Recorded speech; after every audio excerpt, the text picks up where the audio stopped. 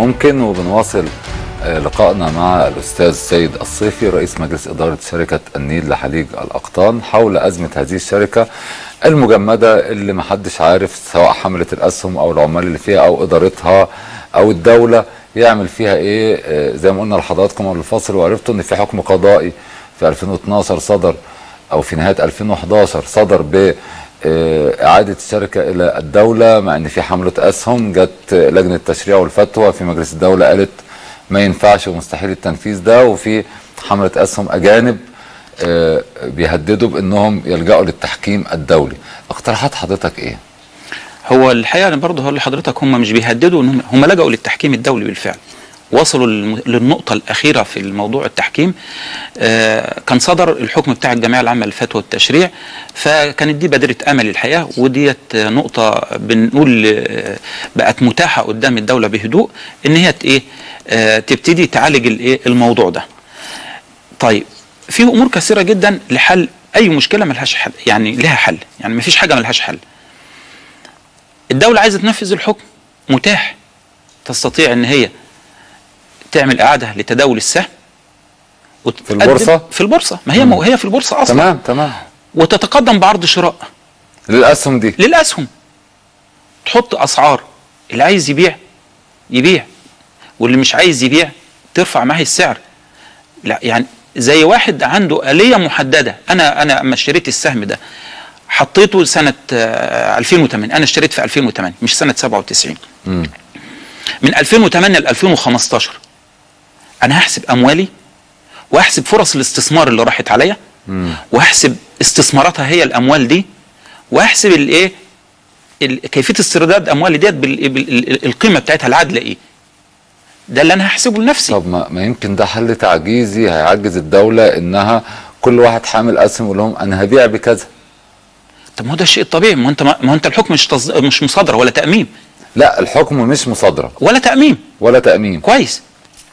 يعني الدولة تدفع للمساهمين تدفع تدفع كل واحد الأسهم استثمارات. وتعيدها إلى ملكيتها. مرة أخرى اللي اشترى في 2011 آه. في شهر 12 يعني 17 12 الحكم اللي اشتراهم 15 مم. ذنبه إيه؟ فات عليه كم فرصة استثمار أقسم لك إن فيه ناس بتيجي الشركة تبكي اللي عايز يجوز بنته اللي عايز آه، بيبكوا طب هي الدولة القضاء حكم ليها آه إنها تسترد الشركة آه طيب هي عرضت هي هتستردها إزاي؟ لا. القاضي بيقول لك أنا ماليش علاقة بالكلام لا ده. عرضت. لا خالص. هتستردها إزاي؟ لا لا خالص. أمال هتاخدها إزاي وفي حملة اسهم مفيش. هم ملاكها الحقيقيين. بالظبط كده. هم أصحاب الجمعية العمومية. اضف إلى ذلك بقى إن في عندك ال ال ال- الشركة القابضة الدولة قالت لها نفذي الحكم. قالت لها نفذي الحكم. لا أنت عارف توجهات الشركة القابضة عايزة إيه؟ هل عندها القدرة على ال ال سداد الالتزامات دي تقول لك لا أنا مش عندي طب امال أنت هتاخد ال- هتاخد أموال المساهمين دي ببلاش؟ أنا عايز أنفذ الحكم بس. الحكم مش جانب واحد. الحكم هات وخد. الحكم أنت عايز الشركة متاحة في قدامك. ناس في ناس ليها حقوق. بس بس الشركة دي ملك الناس دي. طب إحنا معانا مداخلة من أحد حملة الأسهم. يمكن يكون عنده حلول أو مقترحات. الأستاذ عبد الكريم ناصر من دولة الكويت الشقيقة. مساء الخير يا فندم. مساء النور. على الاستاذ الفاضل. أهلا بيك يا أستاذ عبد الكريم وحضرتك من حملة الأسهم في شركة النيل لحليج الأقطان وأكيد متابع حوارنا حول أزمة الشركة وأكيد متابع أزمة الشركة من الأول لانك لأنك لك أموال في هذه الشركة اشتريت أسهم بيها. شايف المشكلة إزاي وهل لديك حل لهذه الأزمة اللي إحنا مش عارفين تخلص إزاي؟ أول شيء بالبداية أنا أحب أرحب فيك أستاذ مجدي وأنت من الاعلاميين المشهود لهم بالتمييز والكفاءة وأرحب بال... بالأستاذ سيد الصيفي رئيس مجلس الإدارة وبالساده المشاهدين. أهلا بيك يا فندم. منورنا يا أستاذ عبد الكريم. الله يسلمك. بالبداية أنا أنا صار شغلة عمرها ما صارت في أي دولة من الدول إنك تشتري أسهم من بورصة ويصدر أمر بأخذ الأسهم أو يصدر أمر في استردادها للدولة لأن أنا مو شاري شيء من الدولة أنا شاري من بورصة شاري أسهم. تمام في حركه التداول حقك تشتري الأسهم في البورصة. وأنا شريت من شاشة الأرض، أنا شريت في البورصة المصرية سنة 2010 بعد فترة تم إيقاف التداول على السهم.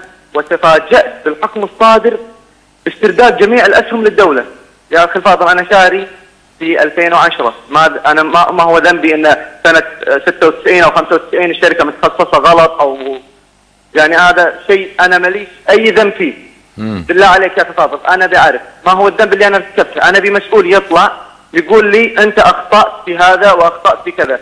هو كل العملية أن إحنا كدول أو كشعب عربي نحب مصر. ونحب إن نستثمر فلوسنا في مصر. ومصر بتحبكم يا أستاذ عبد الكريم. إي والله فهذه المشكلة لأن لأن أنا الحين لما رفعت قضية في المحكمة الدولية وطالبت مجلس إدارة الشركة طلبت منا يعني رئيس مجلس إدارة لو وصلت إلى آخر مراحلها القضية الدولية رفعت في اخر مراحلها في المحكمة الدولية طلب منا رئيس مجلس إدارة بالوقف لأن طلع حكم من إدارة الفتوى والتشريع وقال إن البلد مش مستحملة وتعويضات والبلد والبلد أنا مليت دم في كل هذا. أنا مع مصر وبالعكس ندعم مصر وبدنا نقدم أشياء كثيرة لمصر. بس إحنا ما قاعد نشوف في تقدير لهذا الشيء. أنا أنا أنا يا أخي الفاضل أطلب مقابلة رئيس الوزراء. ما يرضون يدخلوني تقدمت في كتاب رسمي أبي اقابل رئيس الوزراء وأي مسؤول. يقول لي شنو خطأي؟ يقول لي متى سوف تحل هذه المشكلة؟ ولم يخرج أي شخص. ويقول لي ما يعني يقول لي أي كلمة أنه والله سوف تحل مشكلتك أحنا مقدرين وضعك استحمل سو أعمل ما فيش أي حاجة. حاولت اقابل رئيس الوزراء وما استطعت. تقدمت بشكوى رسمية إلى السفارة الكويتية. وقلت لهم أنا عندي مشاكل. وتقدموا مشكورين بطلب من رئيس مجلس إدارة وشركة النيل بأوراق واستفسارات ليعرفوا أن هذا. وتقدموا الشركة مشكورة يعني خاطبت السفارة مشكورة خاطبت الخارجية وخاطبت هذا. قالوا إن المشكلة سوف تحل. ومن أكثر من شهرين ولم يتم الحل لحد هذه اللحظة. فأنا بعرف أنا والله العظيم أنا يا أستاذ مجدي صادق يا فندم. حصلت لي حصلت لي فرصة للاستثمار ثانية في مصر وفرصة جيدة.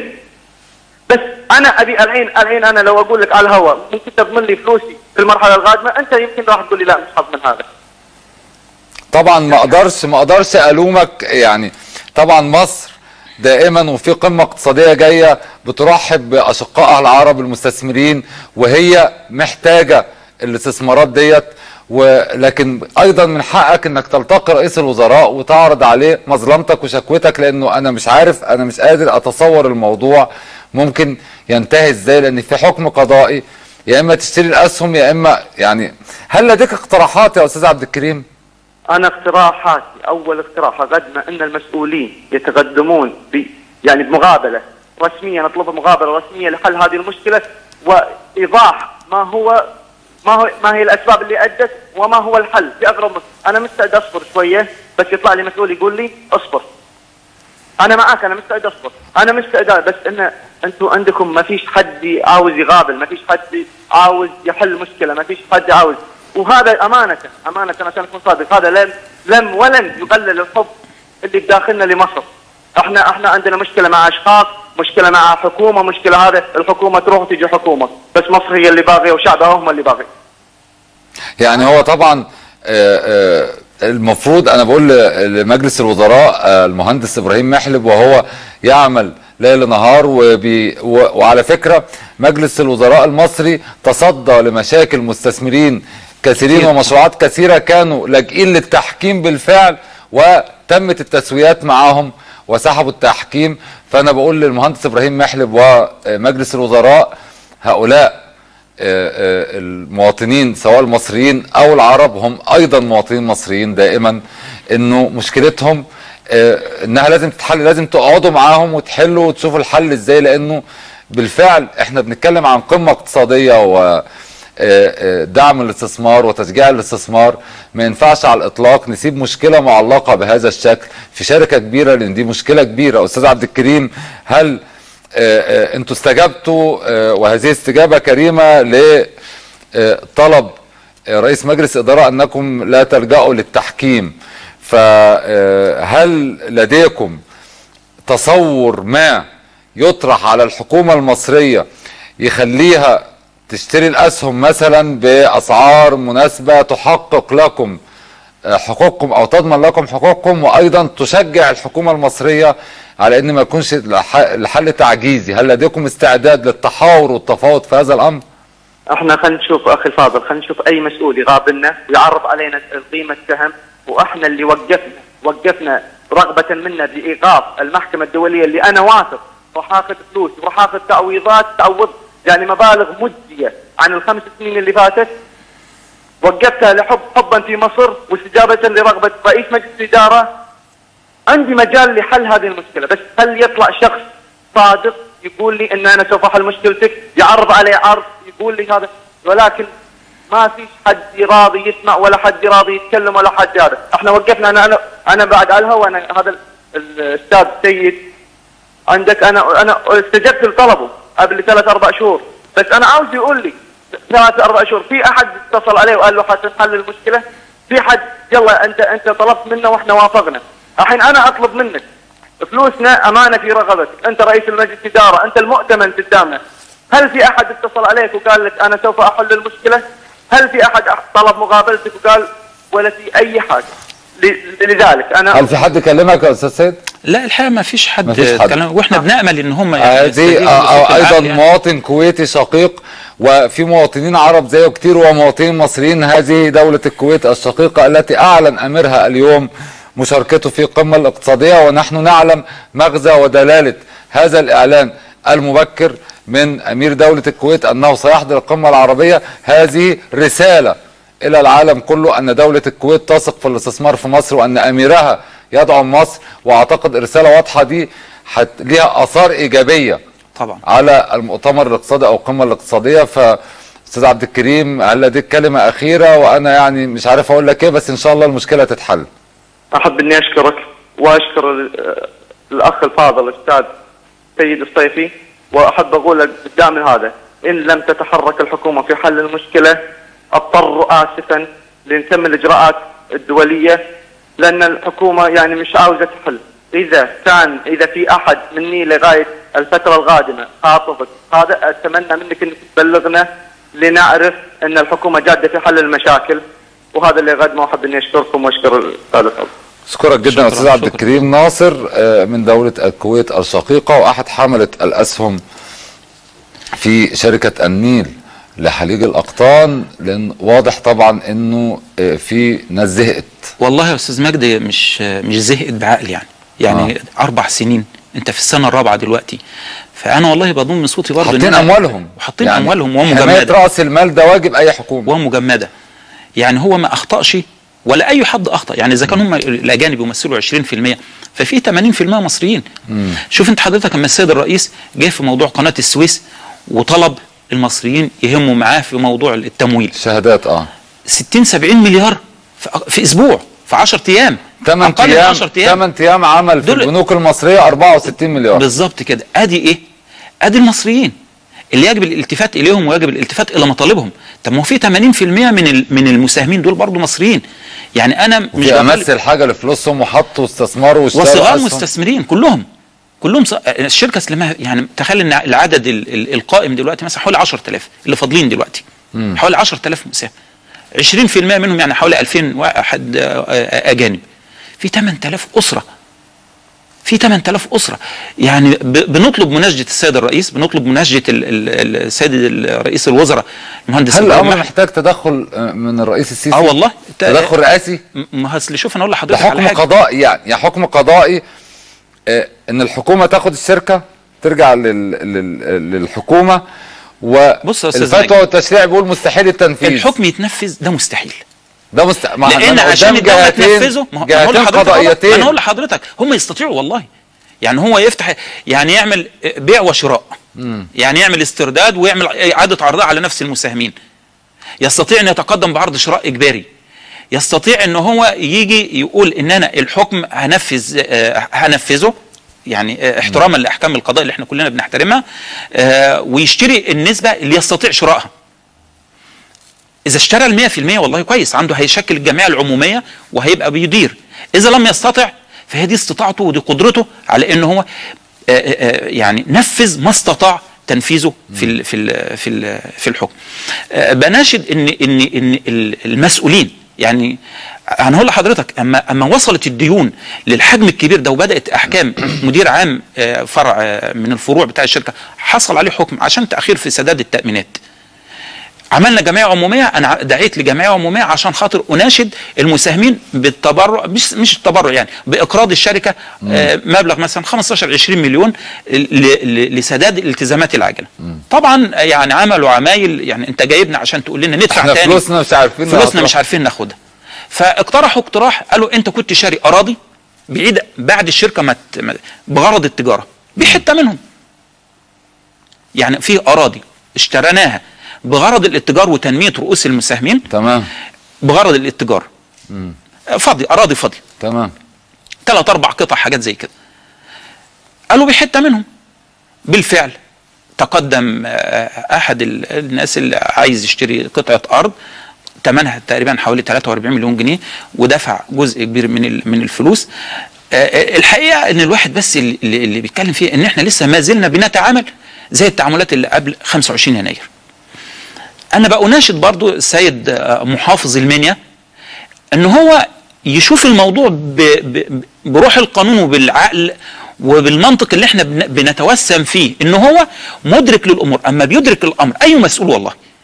أما بي... بي... بي... بتأني بي... بي... بيرى وبينظر لأي موضوع وبيفهمه كويس بعيد عن المؤثرات الخارجية أو بعيد عن ال- اللي دايما بنسمعها الدولة العميقة الناس اللي قاعدين في الشؤون القانونية الناس اللي قاعدين اللي قاعدين بيملوا على السيد المحافظ آرائهم آه، ويكربسوه ويكبلوه والكلام ده كله. لا فيه أراضي في الشركة في قطعة أرض من على وجه السرعة. يعني طب نعمل إيه؟ ما ندفعش الضرايب؟ ما ندفعش هو التأمينات؟ طبعا ما ندفع- ممنوع عليكم تبيعوا لا مش ممنوع أصل إذا كان ممنوع عليا البيع يبقى ممنوع عليا أبيع الأراضي اللي الدولة اللي هي كانت ملك الدولة. إنما مش ممنوع عليا إن أنا بقى إن ال- ال- الشركة بتشتغل من سنة 97 لسنة 2000 و- وقولوا 2011 15 أو 14 سنة. كسبت. كسبت أرقام كتيرة. اشترت بيها ما وزعتهاش على المساهمين عشان تنمي لهم فلوسهم أكتر وأكتر وأكتر. لما المكسب ده أنا ما بقولكش بقى تعالى إن أنت بعد آه، 17 سنة ولا 18 سنة خد ال- اللي أنت اللي أنت بعته اللي الدولة باعته وخد أرباحي كمان. يعني طبعا ده ده ده ده لا روح قانون ولا قانون ولا فيه أي جانب من الجوانب ولا عقل. بلاش أنا أقول أنا ولا عقل. إنما والله يا أستاذ مجدي امور أنا بأناشد والله. من عند السيد وعارف مشاغله وعارف إن هو اللي هو المهندس إبراهيم محلب. وزير الاستثمار مناشدة برضه خاصة. انظر لل... انظر للمساهمين. انظر للعمال بتوع الشركة. انظر لأن في حلول كتير جدا مطروحة. إحنا ما يعني الم- المفروض إنه رئيس الوزراء أو وزير الاستثمار أو أي مسؤول يدير الأزمة دي. ما هو أزمة لازم يتصدى ويديرها. مش يخلصها عايز أقسم لك إن هذه المشكلة تتحل في ساعة. في ساعة. ساعة زمن. طيب. يعني لو لو, لو بس ادخروا من وقتهم. أنا عارف إن وقتهم ما يستحملش الساعة. بس اما يبص ان يلاقي قدامه في في ناس أنا داخل على مؤتمر اقتصادي التفاصيل الصغيرة ذات أهمية. طبعا بالنسبة للمستثمر يعني بالنسبة. للمستثمر التفاصيل الصغيرة ذات أهمية. أنا ما أنا ما, ما يعني عامل بس على أماني عندي وهم بروح العروبة اللي عندهم وبروح ال- الأدمية اللي موجودة عندهم وحبهم لمصر بيجوا يتقدموا. بس أنا لازم في نفس الوقت برضه التفاصيل الدقيقة بتاعته لازم أقدمها له. هو ده اللي إحنا نستر نفسنا شوية قبل المؤتمر الاقتصادي يعني لازم يعني لازم كان نحل ممكن الحاجات دي عشان نقول للناس كان إن إحنا ممكن عندنا والله حاجات إرادة إن كتير جدا نحل. تتعمل. إرادة. طيب. إرادة ورغبة. فهو ده اللي إحنا يعني بن رب. بن بن بنناشد بيه إن إحنا بس يعني إيه نبتدي ندخل على المرحلة ال- اللي جاية وإن إحنا فعلا مصفين كل الإيه كل, كل ال- المشاكل. المشاكل اللي إن شاء موجوده الله. دي آه، طبعا الأستاذ سيد الصيفي رئيس مجلس إدارة شركة النيل لحليج الأقطان بيطلب ساعة. ساعة من الحكومة والمسؤولين في الحكومة وبيقول إنه والله المشكلة تتحل في ساعة أعتقد إن حل مشكلة شركة كبيرة زي دي مع مساهمين فيها مساهمين حملة أسهم أصحاب حقوق فيها عمال فيها أيضا إنتاج وفيها آه، آه، آه، ممتلكات وأصول وغيره تستحق ساعة واثنين وثلاثة بشكر حضرتك جدا الله أستاذ سيد يخليك. الصيفي رئيس مجلس. إدارة شركة شكرين. لحليج الأقطان وإن شاء الله هنتابع هذه المشكلة. وهنتابع كمان هل الحكومة وهذه الرسالة للحكومة المصرية أن تتصدى لهذه المشكلة وتنفذ الحكم القضائي أو ما تنفذوش ده مطلوب لأنه المشاكل لا تحل بالهروب والأزمات لا تحل بالهروب ولا الطناش لا في أزمة لازم نقعد ونحلها علشان يكون ثقة المستثمر سواء اللي في مصر أو اللي في الخارج ثقة كبيرة جدا في الحكومة المصرية إن إحنا بنشكل بن بنصنع صورة ذهنية جديدة عن الاستثمار في مصر فما ينفعش نسيب هذه المشاكل قبل القمة الاقتصادية وإحنا بنعمل بنقول للمستثمرين إحنا مختلفين وإحنا اتغيرنا كتير جدا لازم نقول لهم إن إحنا اتغيرنا بس على الأرض مش بالكلام. بشكر حضراتكم جدا وإن شاء الله بكرة في حلقة جديدة من برنامج ممكن هيكون معاكم الزميل خير رمضان في آه الساعة العاشرة مساء ويجي بالسلامه إن شاء الله وأشوفكم على خير. تصبحوا على خير.